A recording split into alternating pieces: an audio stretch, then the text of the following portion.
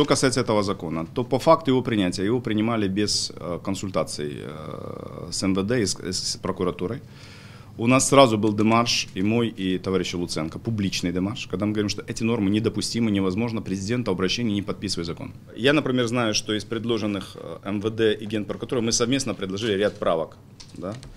те, о которых вы говорите, о том, что не надо всем ехать в один там многие вещи там это касается, сроков в том числе, сроков по тяжким, тяжелым преступлениям в том числе, то часть наших предложений и правок поддерживается, а часть нет. Проблема существует, и думаю, что нам придется,